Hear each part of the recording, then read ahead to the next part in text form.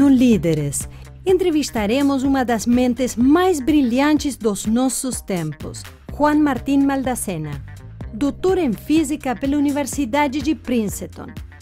Hice dos años en la UBA, después hice cuatro años en el Balseiro. Ele visitou Buenos Aires para receber o prêmio Conex de Brilhante. Para mí es un gran honor, eh, dado todos los demás que lo han recibido. Vamos conhecer a sua grande descoberta, a teoria de cordas. La, la teoría de cuerdas es una teoría que trata de decir cuál es la versión cuántica del espacio-tiempo.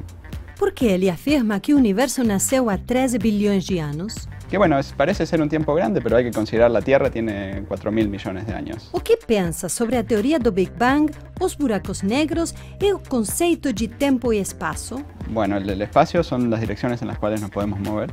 El tiempo es lo que mide un reloj, es la mejor definición del tiempo. Em uma entrevista exclusiva para o Líderes. Aqui no Líderes, apresentado por Cecília Lucia Puig.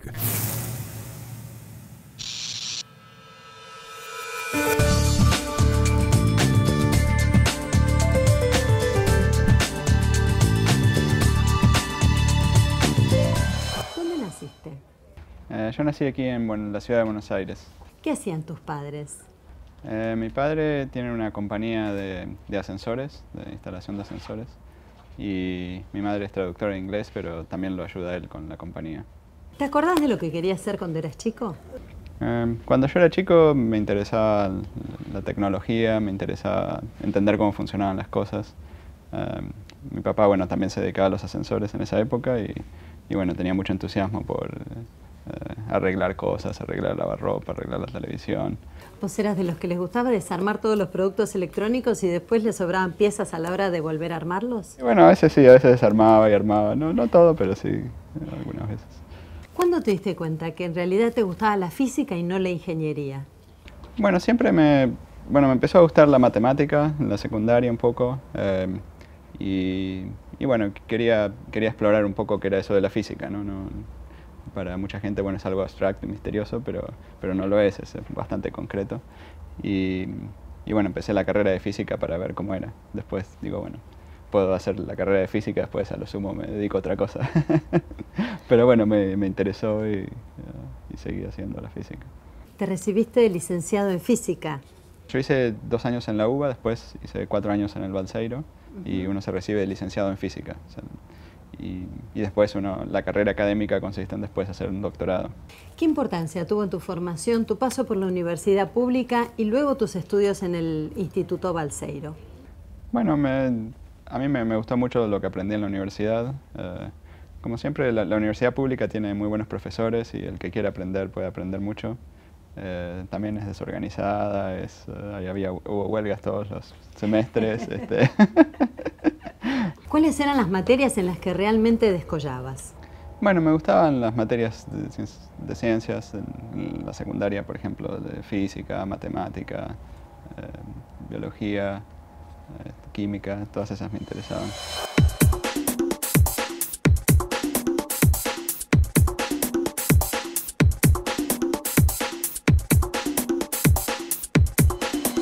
¿Cómo surge la oportunidad de estudiar en Estados Unidos? Bueno, al terminar la licenciatura, uno después tiene que pensar si uno va a querer seguir haciendo el doctorado o se va a dedicar a otras cosas, como seguir a la industria privada o lo que sea. Y, y bueno, decidí hacer el doctorado y una posibilidad es hacer el doctorado en el exterior. Un- hay becas para, para hacer el doctorado en universidades en el exterior. Es un proceso más o menos estándar de pedir- postularse y, y te admiten, ¿no? Y bueno, y, eh, eso fue lo que hice, ¿no? Bueno, planteas algo muy complejo como muy fácil, ¿no? Eh, las becas en general son muy, muy exigentes. ¿Qué te decide estudiar en Princeton? Bueno, yo me postulé para distintas universidades y, y bueno, me admitieron en esta que hubiera sido mi primera elección de todas maneras. Y, y bueno, decidí ir a ver. ¿Quiénes fueron tus mentores?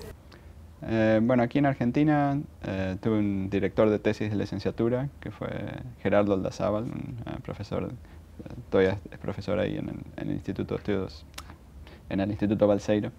Um, y, y bueno, él siempre ha realizado investigaciones en esto de la gravedad cuántica, la teoría de cuerdas.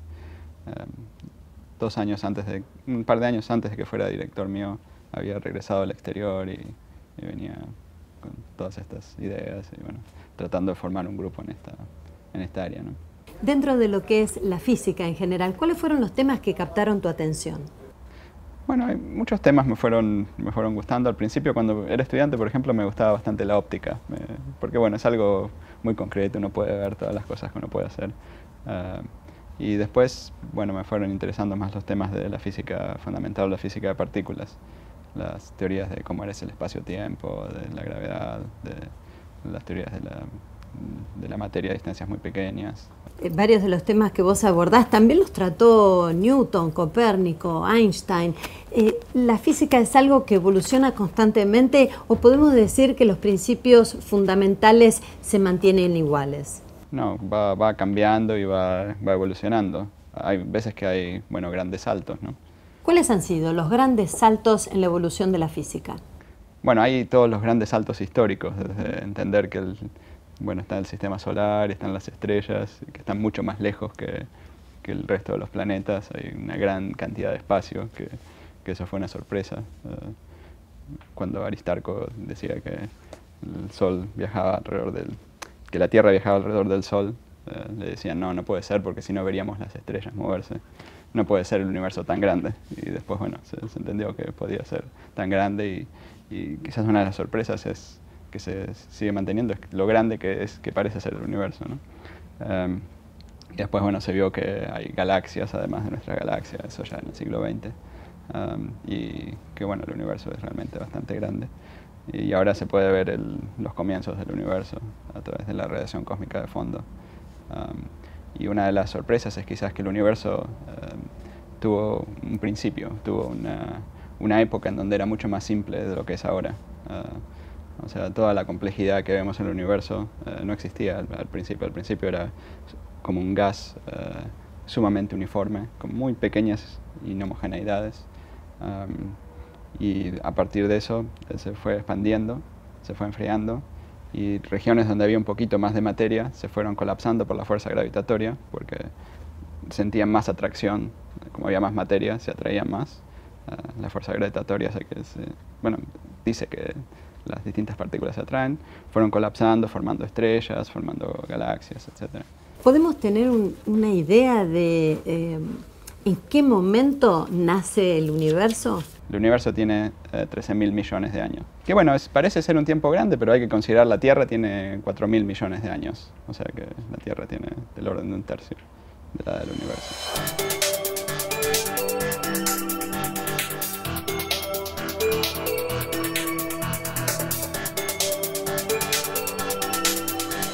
Definirías el universo? Eh, bueno, el universo uno puede decir todo lo que podemos ver, eh, entonces lo que podemos llamar el universo visible. Um, la gente también habla de multiuniverso, que serían las regiones que todavía no, que no podemos ver, que están más lejos de lo que podemos ver. Porque um, la velocidad de la luz es finita y eso hace que solo podamos ver una región del universo. ¿Qué es el tiempo y el espacio para vos? Bueno, el, espacio son las direcciones en las cuales nos podemos mover. Um, hay tres direcciones. eso es más o menos obvio para todo el mundo. El tiempo es lo que mide un reloj, es la mejor definición del tiempo. Eh, lo interesante es que todos los relojes miden el mismo tiempo si están en reposo, pero también es interesante que si tenemos dos relojes en movimiento miden distinto tiempo. entonces esa es el espacio y el tiempo están relacionados. lo que es tiempo para uno es, puede ser espacio, parte de espacio para otro, etc. entonces por eso hablamos del espacio-tiempo. Y no solo eso, sino que además el espacio-tiempo no es, no es plano, no es eh, lo que llamamos euclidio, pero puede ser deformado por la materia, es curvo. Ah, entonces, dos relojes que están a distintas alturas, distintas regiones de un campo gravitatorio andan distintos. Por ejemplo, un reloj aquí y un reloj aquí, este reloj de abajo anda un poco más despacio. Así que si uno vive en el piso de abajo de un edificio, envejece un poco menos. Nada más que es una cantidad muy pequeña, muy pequeña. Vos continuaste desarrollando la teoría de cuerdas. ¿En qué consistió este desarrollo? La, teoría de cuerdas es una teoría que trata de decir cuál es la versión cuántica del espacio-tiempo. O sea, antes de hablar de la teoría de cuerdas deberíamos hablar un poco sobre la, física cuántica, eh, que son nuevas reglas de la física que gobiernan las cosas muy pequeñas son reglas probabilísticas. O sea, en la física clásica, si uno parte de ciertas condiciones iniciales, siempre el sistema se va a comportar de la misma manera. En la física cuántica hay un elemento de azar que es inherente a la realidad. ¿no? Ah, no, parece ser porque ignoramos cosas, pero simplemente es porque ah, así es la naturaleza. entonces la pregunta es cómo se comporta el espacio-tiempo cuando ponemos este elemento de azar o de la mecánica cuántica. Entonces el espacio-tiempo no tendría una forma fija en todo, en instante, sino que ah, habría muchas posibilidades para las formas del espacio-tiempo, etc. Esta teoría cuántica es importante solo en ciertas regiones, como al principio del Big Bang o en el interior de agujeros negros. Para efectos cotidianos es, la teoría de Einstein es suficiente. Y para muchos, para la mayor parte de los efectos cotidianos, la teoría de Newton también es suficiente. Entonces las teorías de la física van abarcando cada vez más y a veces para fenómenos eh, más grandes o, o más lejanos, digamos, hacen falta teorías nuevas. Entonces la teoría de cuerdas trata de explicar el principio del Big Bang, el interior de agujeros negros, ese tipo de cosas. Si tuvieras que compartir con la audiencia, ¿qué significa el Big Bang? ¿Qué dirías? Em, el Big Bang es la teoría de cosmología actual, que es la, la, idea de que el universo comenzó mucho más pequeño y más caliente y muy uniforme y muy sencillo al principio y después se fue expandiendo eh, de acuerdo a las ecuaciones de Einstein. Y con, esas, eh, con esa expansión se, se, después se formaron las galaxias, etc. Dentro de lo que es el estudio de la física cuántica, ¿cómo te manejas? ¿Trabajas solo? ¿Tenés investigadores que forman parte de tu equipo? Mis investigaciones son puramente teóricas y es muy parecido, en cierto sentido es parecido a la matemática, estudiamos matemáticamente teorías de la física, tratando de expandir las teorías de la física. Y el método es eh, leyendo artículos de los demás, hablando con, con otra gente, escuchando charlas, eh, usando la computadora por ahí para hacer algunas cuentas. Eh. ¿Tu tarea de investigación se concentra específicamente en la investigación básica o pensás en algún tipo de aplicación? La investigación es básica y dentro de lo que es investigación básica es eh, sumamente teórica y o sea que es básico dentro de lo básico, digamos por ejemplo, no sé, investigación básica puede ser eh, tratar de entender, no sé, cómo se comportan las estrellas. A partir de estas investigaciones básicas se puede entender mejor la tecnología. A veces la tecnología provoca cuestiones más básicas. Es, es una interrelación que hay entre las dos cosas.